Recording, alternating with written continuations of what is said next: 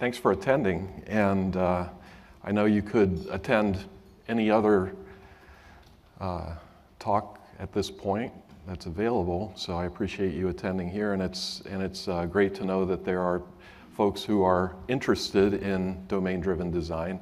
Although I'll have to say uh, I will touch on DDD, but this talk is not, you know, a, a DDD-centric talk. It's it's uh, it does talk about domain-driven design techniques, but um, it's really about rethinking legacy and monolithic software and how to approach that. Okay, and for, for any who weren't here before, I have a couple books and T-shirts to give away. If you have a a, um, a question, walk up to the microphone afterwards, and you'll get something, whatever's available. And uh, so, to start off with, I just want to say, notice the, the word thinking, and um, you know, uh, one person was no, notorious about making statements about thinking. Um, Bernard Shaw, right? The, uh, he, um, he said, you know, some people, most people think only once or twice a year. He said, I've made a, an international name for myself by thinking once or twice a week. Um, you know, there, there's some serious thought that really needs to go into software development. And so I just want to emphasize the word thinking and rethinking because this really is about thinking. And I think that I believe that domain driven design is about thinking, it's about learning, it's about discovery. So this goes hand in glove with uh, domain driven design. There's something I want to get away, uh, get over with right away.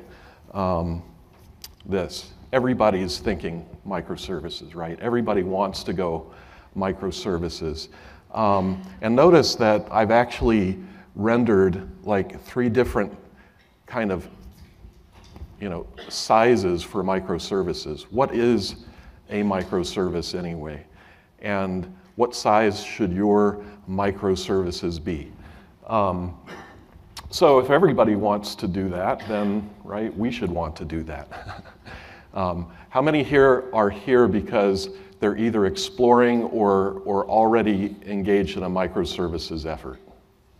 Yeah, so pretty typical. Because um, when I engage with companies, whether I'm, I'm training, whether I'm consulting, it's always the same story. People are stuck in the mud.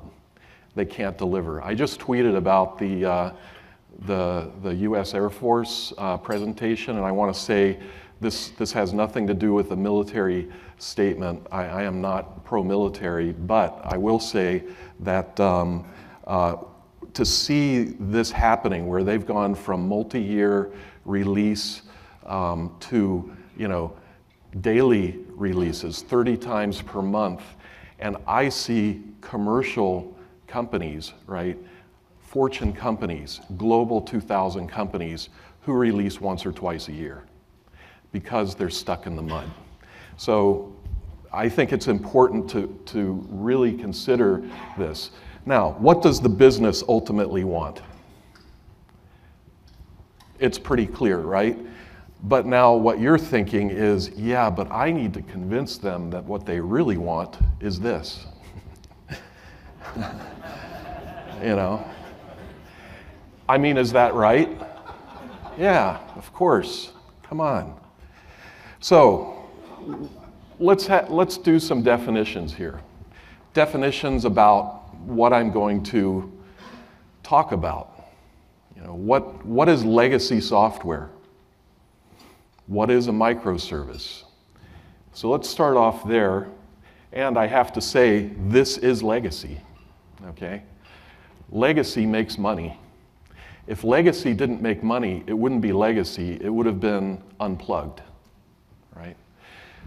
So um, here's a dilemma that we face the legacy is messy, but it makes money. Are you going to be responsible for disconnecting the legacy uh, without providing an equivalent money generator? Um, I don't want to be responsible for that. So, what do we do about that? Well, you know, the word monolith comes up a lot, and there's sort of become this, this battle between, you know, monolith and microservice, right?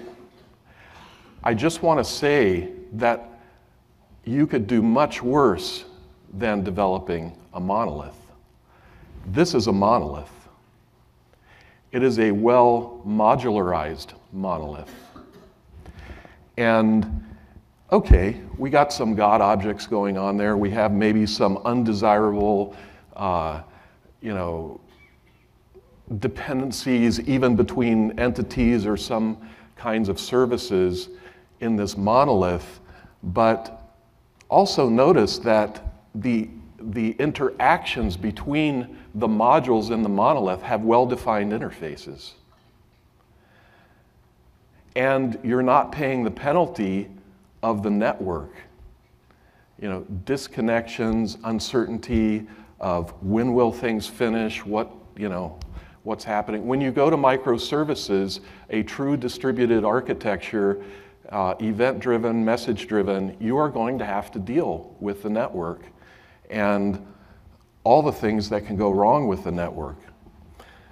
Now, this is how you can do much worse, right? BBOM is big ball of mud. Now, this is where most people are, okay? Most organizations, Fortune companies, Global 2000, and so forth, they are mostly experiencing this. Even companies that are technology companies that have made their fortunes on technology have gradually moved into this state. And maybe it even started out as a nicely modular, you know, nice modular uh, monolith, but over the years, the changes in um, you know, customer demand for features, functionality, and also the technology changes that have sort of left that old code behind have rendered this. And you have two situations that I've seen, that I've experienced. The developers don't want to deal with this anymore. They want out of it. They're demoralized by it. Or the opposite extreme, they defend it because it's their job. you know? Wow, that's a difficult dilemma. And you know what? I think that most of these things, uh, you know, that, that we call systems are in this situation because they've started out with this kind of life, an anemic domain model. And I want to show you what I mean by anemic domain model. This is a, a client domain object, or is it? Well, it's a client row in a database, that's for sure, because it's annotated as an entity with an ID and a bunch of columns. And notice that there's nothing here that tells you the intent of why you would change this object because you're simply going to use a public setter to set some data on this object. And whatever data you set has a meaning, but there's no expression to the meaning. There's nothing obvious that says, this is why I am setting the data. Instead of having a meaningful, fluent behavior that causes the properties or the attributes to get set, instead, what we do is just put that responsibility on the client to understand why the data is set. Now, it may take you a few hours or a, a few days to figure out why data is set on this object and other objects. And uh, okay, I'm showing you a very simplistic object, but when the objects get complex, it's a completely different story. And complexity is where you really need to focus on fluent behaviors that cause the setting of attributes. Otherwise, it's tribal knowledge that is eventually lost as the generations of, of the system are, you know, are sort of covered over by, let's say, the kudzu, right? Of here in the South, they know about kudzu. It's a, it's a vine that that shades other plants and it grows like very quickly. And believe it or not, like a century ago, people were paid $8 an hour to, to sow, um, to, to seed, plant kudzu by the acre, $8 per acre. And now, you know, it's like taking over land at various rates. Some, some say more than 100,000 acres per year in the United, southern United States and, and even going into the north. I think that, that this kind of software is the kudzu. And we talk about vines, right? Straggler, strangler vines to fix this. Well, we also have the same kind of vine uh, or, or, a similar vine that, that just chokes out the daylight into understanding a monolith, um, be, you know, sort of like the kudzu does. So, what is a microservice anyway? Some people say it's 100 lines of code. Who here has heard that? That's all? Wow. Uh, actually, the person who takes credit for naming microservices and creating the idea of microservices, this is his definition 100 lines of code. Um, some people have said, no, no, it's not 100, it's 400. uh, some people have said, no, it's 1,000, you know. You know what I think? I think that naming, numbering any size of a microservice as in this is good if it's 100 lines of code it's bad what? If it's 125 lines is that a bad microservice? 200 um, i mean shouldn't it be sort of business driven you know? So here's, here's a situation that we have with the uh, 100 line of code microservice. And uh, we start deploying them 100, you know, like, I mean, think of just each of these as roughly an entity. That could be less than that, could be a function or a method, right? And so we start out with dozens of these things. And we have a central message bus with topics where we're publishing, you know, messages, may, maybe events, hopefully events, about what has happened on each of those. And then the other entities that are, that are interested in that are informed this is all distributed. This, this is 100 lines of code everywhere. And then, you know, we're pretty happy with where we've gotten. We have dozens of these things. And then we start thinking, hmm, what's still relevant a month later, right? Um, do I have a dependency on a microservice or am I, do I have dependencies on me and can I be unplugged, right? Can I literally shut down this microservice because we think it's no longer relevant, but is somebody still consuming my events or am I providing some service that maybe I'm not aware of? And you know what has happened with this? The very person who takes credit for microservices and says microservices should be 100 lines of code actually advises this they're like, okay, we can't figure out that problem, so what we're going to do is not unplug anything because it only requires about $400 a month to keep all the microservices running, each microservice, right? Now, I don't know what kinds of companies that this consultant works with, but you know, when it starts getting like this, and then, really, what we're saying is it's getting like this. And then we say, okay, in a complex system, how many lines of code are there anyway? Two million lines of code? Well, let's just take two million. Maybe we'll check five million. I mean, I don't know what kinds of systems you work on, but two million lines of code, that's 20,000 20, microservices. At $400 a month is $8 million a month to run those 20,000 microservices, which is $96 million a year. Uh, let's say it's 5 million lines of code. You know, do the same calculations, $240 million a year. Now, I don't know about you, but my thought is, it, you know, it reminds me of when we would eat out, and when I was a kid and we would eat out, you know, and, and, and someone would accidentally drop a plate in the kitchen or bussing a table and they would drop a plate and, and my mother would always say, there go the profits. I mean, how many of you would get fired over that? I, I think pretty much all of us would. Now, I may be off by, let's say I'm off by, by half. Okay, would, would $120 million a year save your job in, in cost to depl- you know, keep these things running? So, okay, here comes the DDD part bounded context as a microservice. Well, I'm not the only one saying this. Sam Newman, in his book, Building Microservices, if, you're interested in microservices, you've probably read Sam's book, and Sam says bounded context, you know, is a good size of a microservice. What is the size of a bounded context?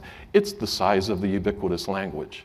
And when we're careful about dividing up the, the models by language, linguistic drivers, where within a context we have a very definite definition of the meaning of a concept and behaviors that it, that, that and any other concepts have, they tend to be quite small. But if you notice here, the, the bounded context roughly represents a portion of the entities of those 100 lines of code microservices. So we can put some of those together.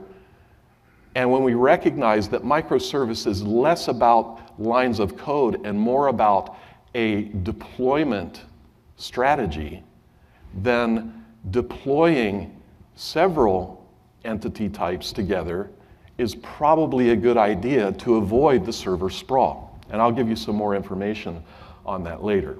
So we want to identify the strategic drivers. And notice that I saw this tweet, I think it was based on a, a, um, a presentation, uh, a conference talk. But basically, what the talk was saying is look, we, we, we implement ordinary business process, but we stop short of strategic advantage.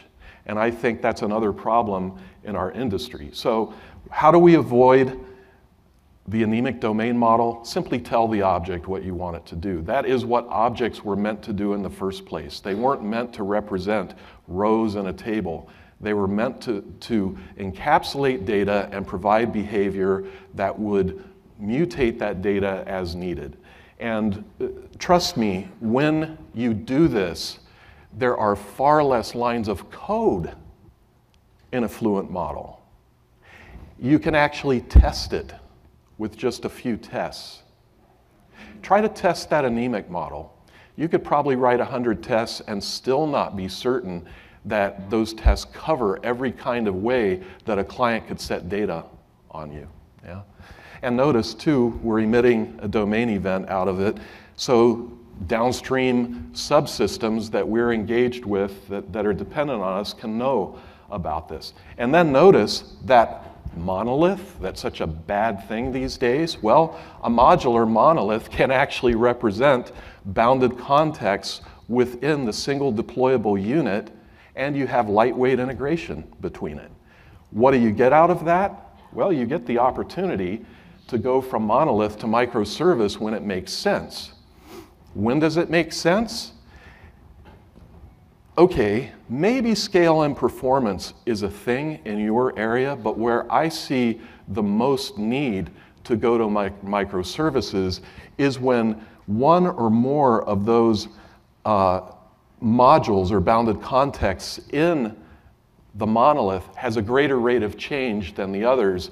And, and basically, you have to bring that monolith down and, and, and deploy and restart it, you know, sort of the old fashioned way, instead of just deploying that microservice as a bounded context anytime that you need to, and the other ones, or, or maybe most of them, tend to stay, you know, more, you know, static. Now, the question is, how do you get from here to here, right? That's, that's really the hard part. And I'm going to tell you, I, I, you know, I'm not going to try to, um, you know, bamboozle you in any way. I've done this, it's hard. It's, it's difficult, okay? And I think one of the best excuses for going, you know, um, from an old technology and rewriting, even though I put it in red because it's like danger, Will Robinson, right? Um, you know, okay, COBOL, you can't hire COBOL programmers anymore. Companies that are still dependent on COBOL are trying to bring COBOL developers out of retirement, paying them a lot of money to keep this stuff running, right? So you can do this. You can eat an elephant. Um, how do you eat an elephant? One bite at a time. So this is change driven, value driven, test driven, right?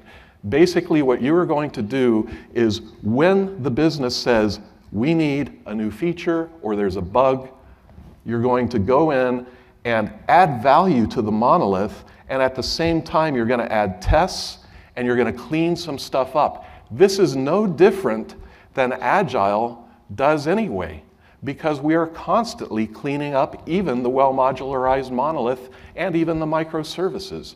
So clean up your code, reach this point, and then getting there is going to be doable.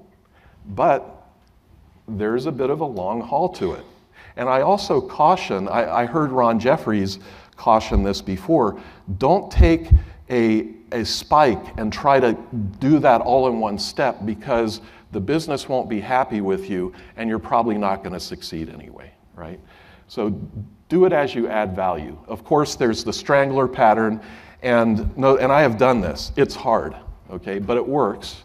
Um, when the monolith updates the database or creates something or deletes something, we generate using triggers, we generate a domain event out of that that we then start strangling with a single microservice and we strangle um, you know, one microservice at a time by, by seeing the event, reacting to the event, to the event in the microservice, and then we have to publish events back as users make changes to this. We have to publish events back because some users, most of the users, are still dependent on the monolith.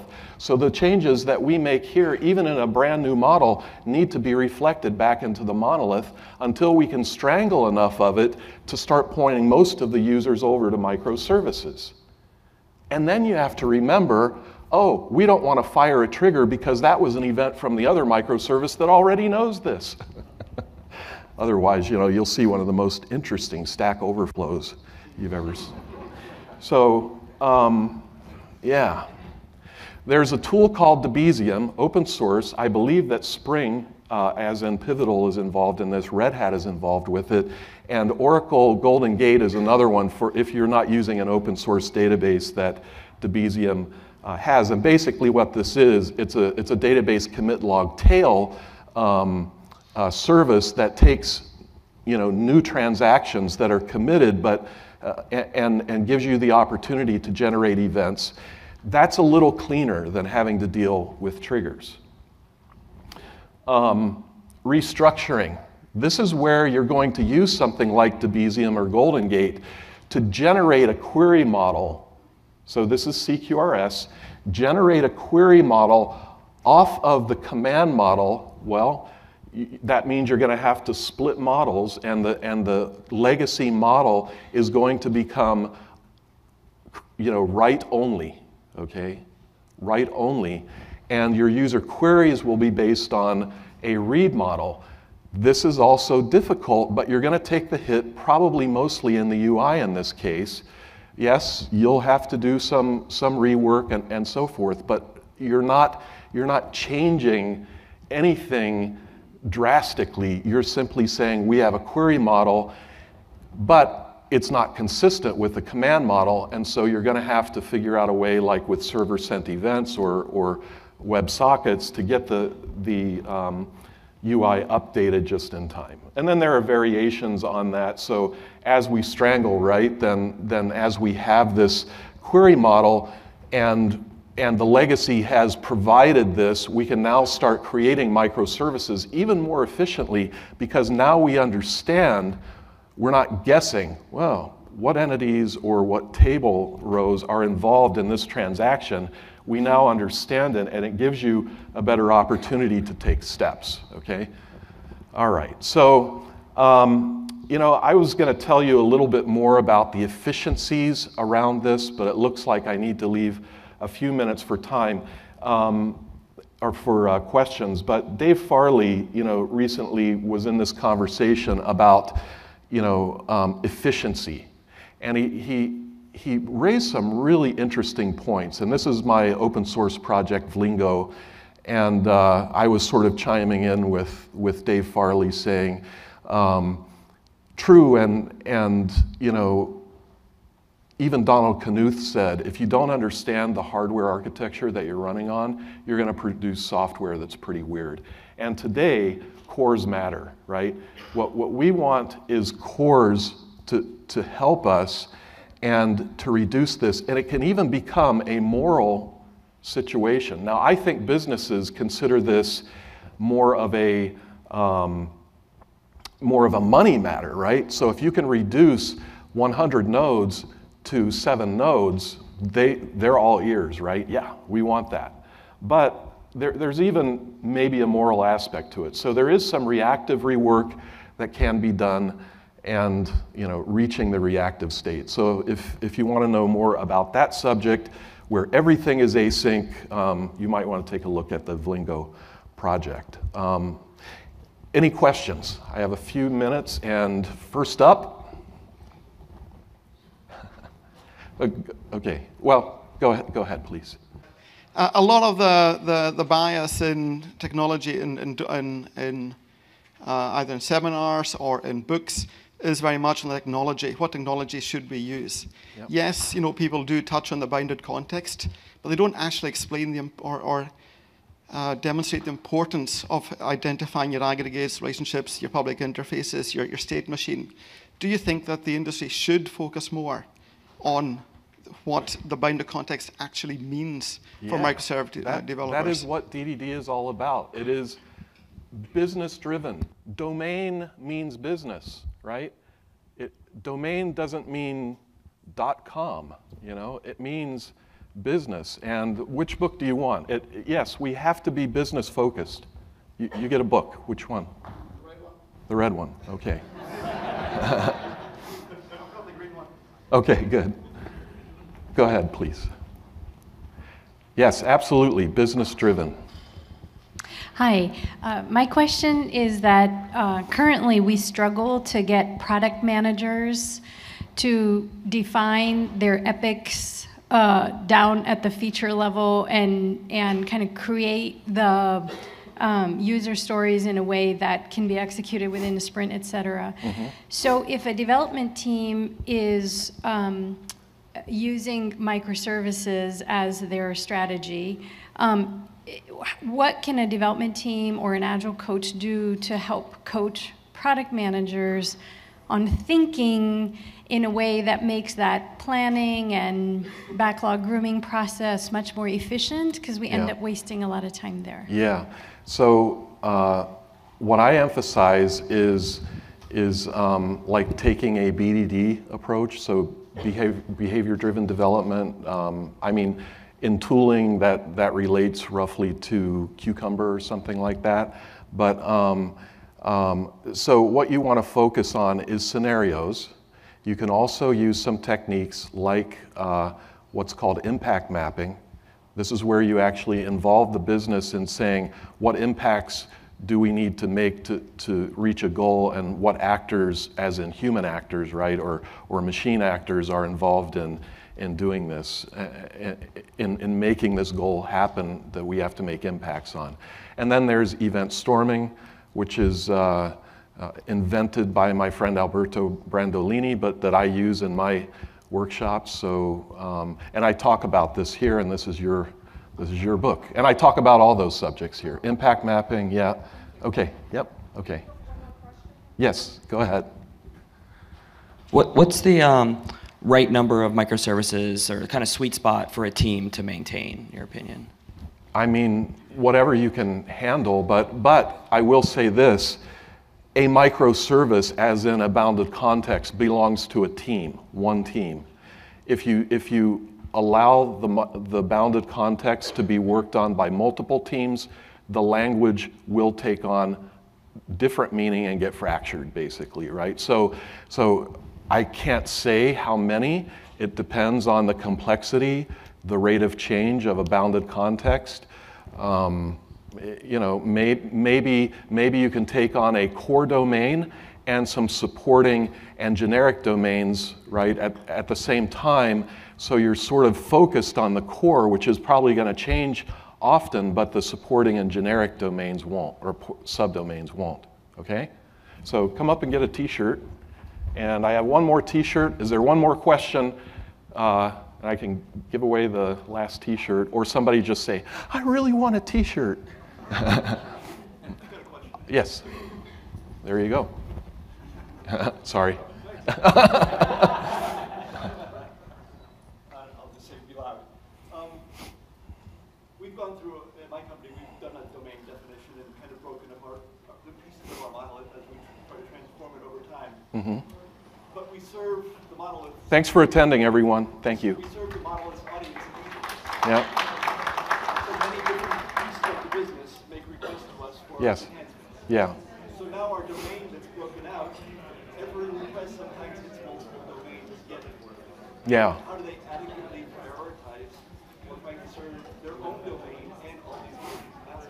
Yeah, well, I mean, it's difficult for me to say, right, oh, you need to do this. But what I would say is, what if you're actually discovering new bounded contexts, right?